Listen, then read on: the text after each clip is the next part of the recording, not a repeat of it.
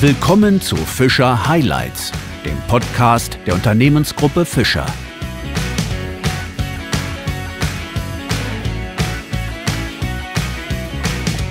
Sehr herzlich begrüße ich Sie zu unserer ersten Ausgabe von Fischer Highlights.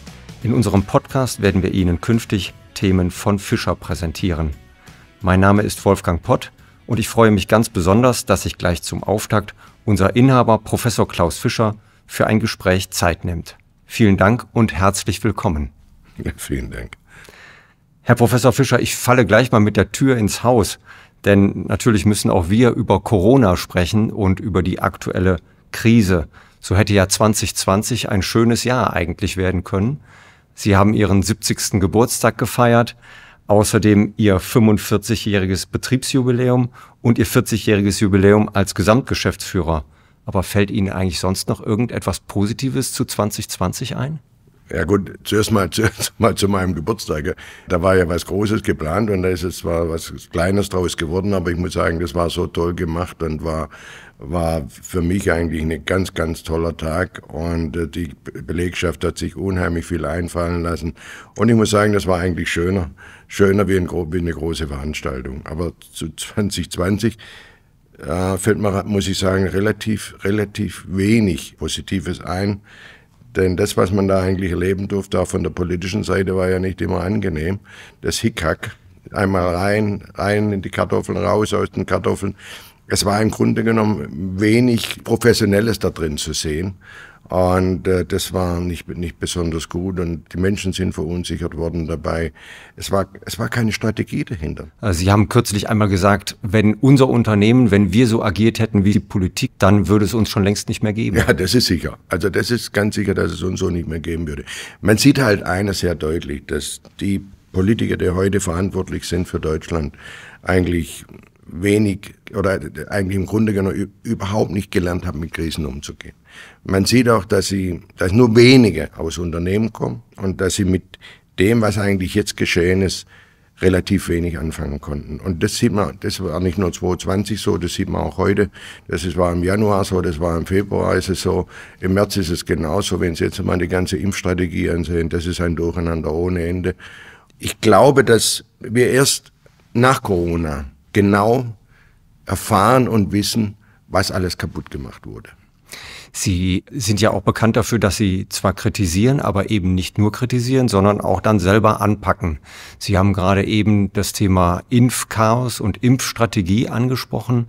Ist es denkbar, dass Sie auch da selber anpacken und sagen, dann setzen wir es eben selbst im Unternehmen mit unseren Mitarbeiterinnen und Mitarbeitern um? Ja gut, wir haben damit, es wurde schon mit dem Betriebsarzt geredet, es wurde auch schon mal jetzt, äh, werden schon Konzepte entwickelt, wenn das möglich ist, was wir dann im Unternehmen machen konnten.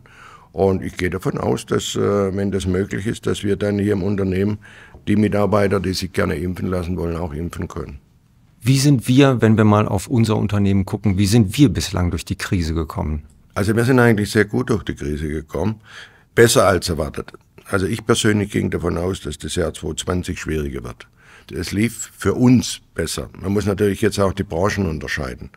Wenn Sie mal die Gastronomie anschauen, wenn, wenn Sie die, Hotel, die Hotel, Hotels anschauen, äh, wenn Sie, den ganz, wenn Sie den Bereich anschauen, den ganzen Tourismus anschauen, dann ist es so, dass die natürlich in einer ganz schweren Krise sind. Wir haben das große Glück, dass die Menschen in ihrer Freizeit auch irgendwas befestigen und Dübel brauchen. Und deshalb sind wir eigentlich sehr, sehr gut durchgekommen. Auch die, die ersten zwei Monate waren uns sehr gut. Wir arbeiten teilweise Samstag, Sonntags, um einfach die, die Ware, die angefordert wird, zu liefern. Und zwar nicht nur in Deutschland, sondern auch außerhalb von Deutschland. Und wie gesagt, 2020 war für uns eigentlich ein gutes Jahr und 2021, wenn es so weitergeht, auch. Nur wir wissen ja nicht, was danach kommt. Es kann natürlich jetzt sein, wenn jetzt, jetzt Lockerung noch stärker stattfindet, wenn noch mehr Menschen geimpft sind, dass ein Nachholbedarf da ist. Aber wie lang das dann geht, ist eine andere Frage. Und es ist auch im Augenblick sehr viel Geld da, weil es wird nicht gereist, die Menschen brauchen weniger und können dann auch, jetzt werden auch dann mehr Geld ausgeben. Aber wie lange das sein wird und ob die Arbeitslosigkeit nicht zunimmt, ist eine ganz, ganz andere Frage. Also ich bin jetzt schon ein paar Mal gefragt worden, wie ich das Jahr 2021 sehe und ich habe dann immer gesagt, das ist sehr schwierig, hier eine Prognose abzugeben und auch sehr unseriös, wenn man hier eine Prognose sagt. Man weiß es nicht, wie es aussieht. Das kann schwierig, kann ein sehr schwieriges Jahr werden. Wobei ich der Meinung bin, dass das Jahr 2022 wahrscheinlich das schwierigste Jahr sein wird. Wieso wird das schwieriger werden weil als 2020? Weil erst die ganzen 20. Auswirkungen kommen. Weil heute fällen ja schon in Kommunen fällen ja, fällt ja schon das Geld heute. Weil es werden ja weniger Steuern bezahlt, das ist eben so. Und auch es wird weniger Gewerbesteuer bezahlt. Und wenn die Kommunen weniger Geld haben, werden sie sparen. Und das heißt, die Nachwirkung, das wird erst später auf uns zukommen. Was eben dann auch noch auf uns zukommt, ist eben die, die, das, was im Augenblick vom Staat ausgegeben wird, muss ja in irgendeiner Weise wieder zurückkommen. Und ich glaube halt eines, dass egal welche Partei dran sein wird, im nächsten Jahr oder im übernächsten Jahr werden die Steuern erhöht werden. Also die Belastung, die Belastung wird auch für die Unternehmen in den nächsten Jahren wesentlich größer sein. Und das wird besonders auch der Mittelstand und werden auch die Familienunternehmen zu spüren Vor allem bekommen? Die Familienunternehmen, wenn sie mal Vermögensteuer und Vermögensteuer, das belastet nicht nur die einzelnen Personen, sondern belastet ja sehr stark die, vor allem, vor allem die Familiengesellschaften. Die werden dann zahlen müssen. Und für die wurde ja in der Vergangenheit, das muss man ganz klar sagen, nicht besonders viel gemacht. Es ist ja auch so, dass die Kanzlerin ja nicht gerade sehr offen der Wirtschaft gegenüberstand, vor allem auch dem Mittelstand. Man hat wenig getan, man hat sehr viel im sozialen Bereich getan, aber man hat eigentlich Deutschland nicht vorbereitet auf die Zukunft. Das bedeutet, wenn ich dieses große Bild, was Sie gerade skizziert haben, noch einmal aufgreifen darf, dass solche außergewöhnlichen Krisen ein hohes Maß an Management und auch an Führung erfordern. Jetzt lenken Sie ja unser Unternehmen als Gesamtgeschäftsführer seit über 40 Jahren und haben manche Krise auch mitgemacht schon. Was braucht es, um eine Krise dieser Art zu meistern? Er muss eben vorbereitet, vorbereitet sein. Wir haben 2008, 2009 äh, damals hatte die Geschäftsführung eine relativ hohe Planung und damals gesehen, dass das anders kommt. Und dann habe ich gesagt, gut, lassen wir die einfach mal so stehen, aber wir planen mal 10, 15, 20 und 30 Prozent im Automotive-Bereich, 30 Prozent Minus. Und es kam dann auch teilweise sehr stark. Viele Firmen sind stark betroffen worden. Wir nicht ganz so, aber immerhin waren es bei uns auch sieben, sieben Prozent minus. Aber dadurch, dass wir gut vorbereitet waren, sind wir eigentlich sehr gut durch die Krise gekommen. Das heißt im Grunde genommen, man muss halt immer auf, irgend, auf solche Themen vorbereitet sein. Wir wussten nicht, dass, eine, dass Corona kommt. Mit dem hat niemand gerechnet. Es gab Wissenschaftler, die gesagt haben, es wird irgendwann mal eine Krankheit kommen, dass irgendwann eine Pandemie kommt, die auch Deutschland betreffen wird. Es hat nur niemand dran geglaubt. Aber aber wir waren da nicht vorbereitet, aber wir waren auf eine Rezession vorbereitet. Weil es war 2019, Ende 2019, hat man sehr deutlich gesehen, dass eine Rezession kommt. Und da waren wir sehr gut vorbereitet und äh, haben dann eben die einzelnen Szenarien gehabt und wo wir gesehen haben, was auf uns zukommt, haben wir dann reagiert. Gut, es kamen natürlich komplett neue Themen noch auf uns zu. Aber die haben wir dann aufgegriffen. Man hat sich hingesetzt und gesagt, was machen wir da, was machen wir da, was machen wir da. Haben so eine Art Krisenmanagement gebildet. Und, dann, und damit ist alles sehr, sehr gut gegangen. Wir haben wenig Corona-Kranke im Unternehmen gehabt bis jetzt und haben das eigentlich sehr, sehr gut überstanden, weil man sehr konsequent war. Wir haben auch mit Homeoffice, wo viele noch gar nicht groß drüber gesprochen haben, war es bei uns so, dass wir gesagt haben, 80 Prozent gehen Homeoffice. Und das haben wir komplett um, konsequent umgesetzt. Vermissen Sie auch diesen Austausch mit der Politik oder von der Politik in die Wirtschaft hinein? Also ich habe in den letzten vier, fünf Jahren so gut wie, wie, wie, nichts mit der Politik zu tun gehabt. Das hat auch niemand angerufen, hat gefragt, Herr Fischer, wie geht's Ihnen? Was, was, was können wir für Sie tun? Oder wie müssen wir uns als, als Politik verhalten? Wie, wie ist die Empfehlung aus der Wirtschaft? Das gab es ja gar nicht mehr. Dann werfen wir doch lieber doch nochmal den Blick zurück auf unser Unternehmen, auf Ihr Unternehmen und betrachten vielleicht auch mal das Positive. Eine solche Krise, die ja nicht hausgemacht ist, schweißt ja eigentlich noch mehr zusammen in einem solchen Familienunternehmen, oder? Ja gut, wir waren schon immer sehr eng und wir haben, unser Unternehmen ist anders wie viele andere Unternehmen. Und die Motivation war immer schon sehr groß und der Zusammenhalt im Unternehmen auch. Wir sind, wir haben heute über 5000 Beschäftigte. Das ist aber nach wie vor eine große Familie. Und das, war auch der, das hat sich auch in der Corona-Krise gezeigt. Es haben alle zusammengehalten. Da gab es keine, keine, keine Probleme, da gab es keine große Diskussion. Es ist natürlich, muss ich auch sagen, sehr, viel, sehr, sehr viel richtig gemacht worden. Es sind so gut wie keine Fehler gemacht worden. Auch äh, von der Information, die Mitarbeiter sind sehr, sehr viel informiert worden. Man ist, sie sind informiert worden, was wir, was man vorhat als Unternehmen. Sie sind auch informiert worden, was man eigentlich tun muss, um eben, eben keine Corona zu bekommen bei uns im Unternehmen. Es gab eigentlich, ich muss sagen, wenig, wenig Verunsicherte. Ein paar immer, das ist klar. Aber dadurch, dass alles sehr vernünftig gemacht wurde, war es eigentlich kein großes Problem. Und was, was auch, muss ich sagen, sehr positiv war, dass wir in der Produktion wenig Ausfälle hatten. Ja, und, äh, und dass man auch hier zusammengehalten hat und gesagt haben, jetzt das Unternehmen läuft gut, wir haben viele Aufträge und jetzt schauen wir, dass, wir die, dass unser Kunde die Ware bekommt, dass wir zuverlässig liefern können. Das hat alles sehr, sehr gut funktioniert, muss ich sagen. Und das, da muss man auch äh, der Belegschaft ein großes Kompliment machen. Aber es ist eben so, das größte Kapital im Unternehmen sind eben die Menschen. Und das wird auch in Zukunft so sein. Sie haben ja von Beginn an dieser Krise auch gesagt, eine solche Krise birgt für unser Unternehmen große Chancen. Welche Chancen sind denn das? Wenn man jetzt die richtigen Schritte einleitet und das Richtige macht, sich vorbereitet nicht nur auf morgen, sondern sich vorbereitet auch auf übermorgen und sich sehr intensiv nicht nur mit der Gegenwart, sondern auch mit der Zukunft beschäftigt, dann kann man sehr, sehr viel erreichen. Und das tun wir. Wir haben uns jetzt auch, in, auch jetzt in, in, im letzten Jahr, tun das auch jetzt in den, werden auch das in diesem Jahr tun, uns intensiv mit dem beschäftigen, was morgen und übermorgen passiert. Wenn wir das jetzt schon anfangen umzusetzen, die Weichen stellen, jetzt für die Zukunft, dann darf, da dürfte eigentlich nichts schief gehen. Aber man darf halt, und was halt auch wichtig ist, dass sie gerade in Krisenzeiten Zukunftsthemen nicht zurückstellen sondern sie müssen auch den Mut haben, alle wichtigen Investitionen, die für die Zukunft notwendig sind, umzusetzen. Sparen ist notwendig, gar keine Frage.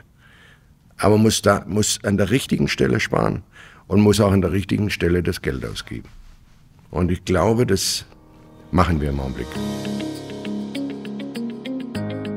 Eine Ihrer Grundeinstellungen ist ja sowieso, dass Sie sich vor allem mit der Zukunft beschäftigen. Hierzu gehört auch die Digitalisierung mit E-Commerce. Das ist ja bei uns im Unternehmen zurzeit ein sehr, sehr großes und sehr, sehr wichtiges Thema. Wie geht hier die Entwicklung aktuell weiter? Ja gut, wir, wir arbeiten an den Themen sehr intensiv. Wir sind auch personell sehr gut ausgestattet für diese, für diese Themen. Und wir müssen halt jetzt, was Digitalisierung anbelangt, das Richtige machen.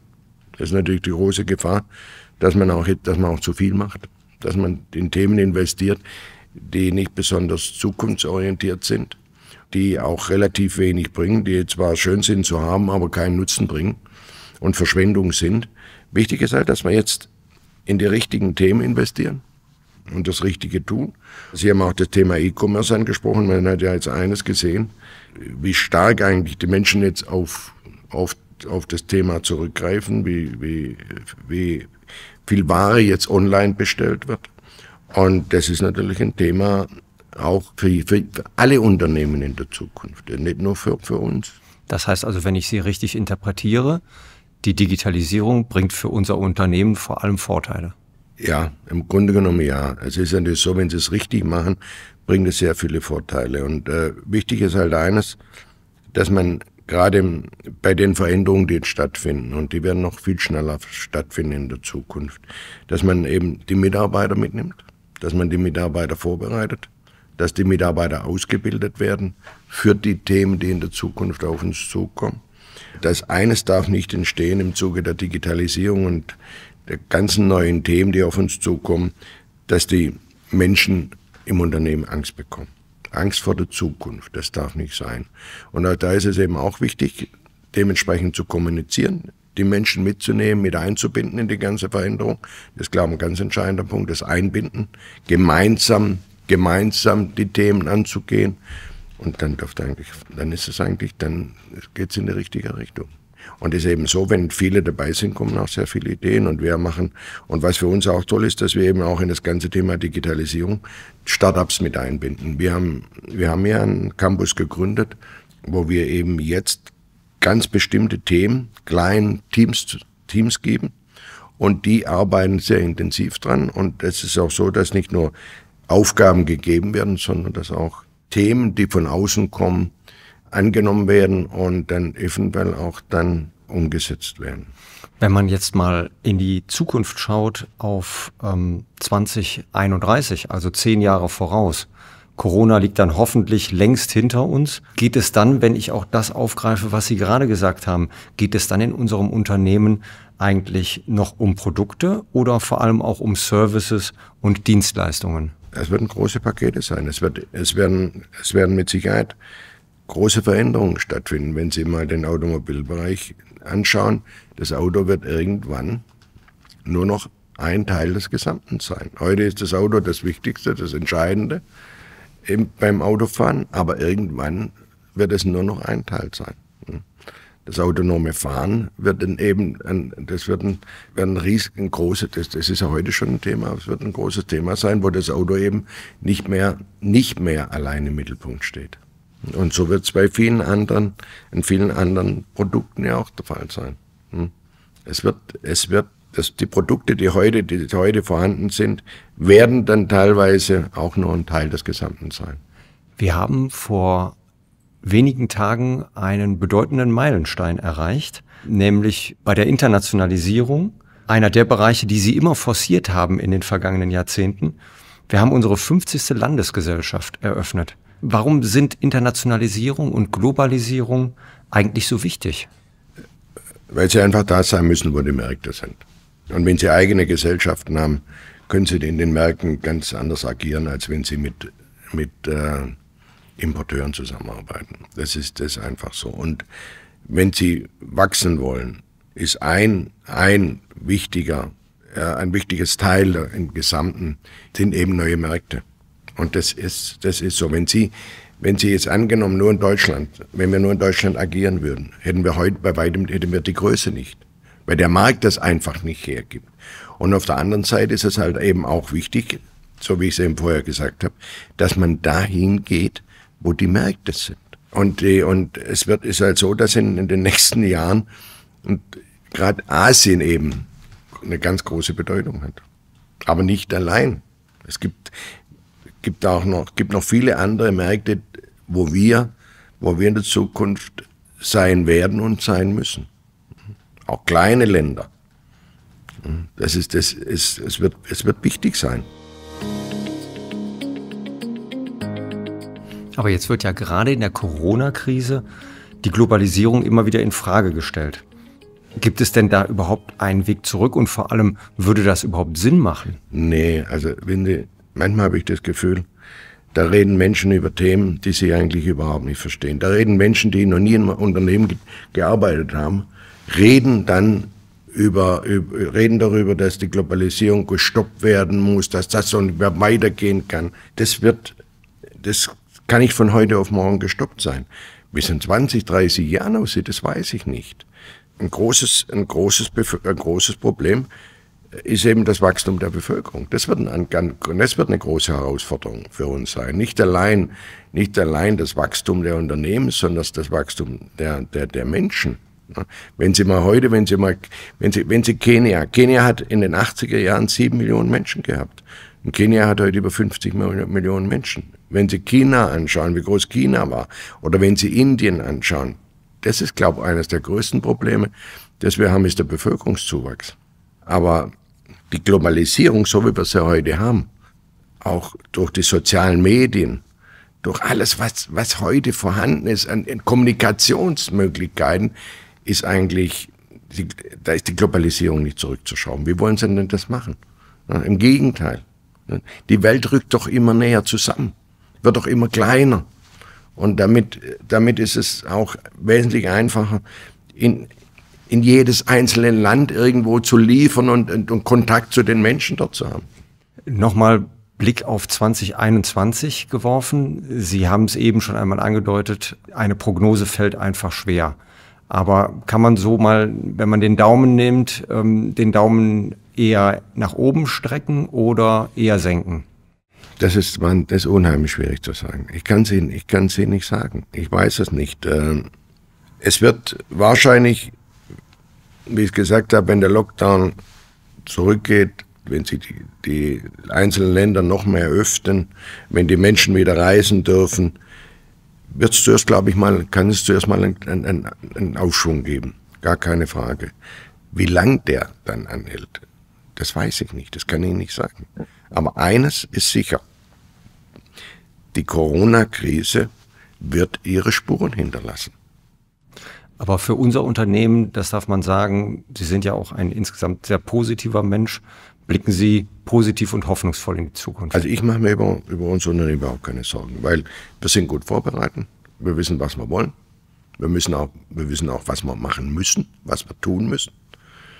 Und denken nicht nur in der, in der Gegenwart und auch nicht in der Vergangenheit, sondern denken sehr intensiv über, über die Zukunft nach, kennen auch die Veränderungen, wissen auch genau, was viele was, was die Veränderungen, die in den nächsten 10, 15 Jahren sein werden, was das für uns bedeutet, welche Chancen wir haben, welche Risiken wir haben. Und äh, wenn wir die Chancen nutzen und wenn es so weitergeht wie jetzt, dann mache ich mir überhaupt keine Sorgen. Und wir haben sehr gute Produkte. Wir haben eine sehr gute Marke, eine sehr bekannte Marke und haben sehr gut, eine sehr, gut, sehr gute und sehr gute Mitarbeiterinnen und Mitarbeiter im Unternehmen eine sehr motivierte Mannschaft und das nicht nur in Deutschland, sondern auch international. Und deswegen machen wir da wenig Sorgen. Und wir investieren ja auch sehr viel hinaus in Weiterbildung, was für mich eines der entscheidenden Themen ist. Und das gibt uns natürlich auch Wissen und Kraft für die Zukunft. Herr Professor Fischer, das war ein gutes und starkes Schlusswort. Vielen herzlichen Dank äh, für den Auftakt des Podcasts Fischer Highlights für Ihre Zeit und für das interessante Gespräch. Herzlichen Dank. Ja, vielen Dank.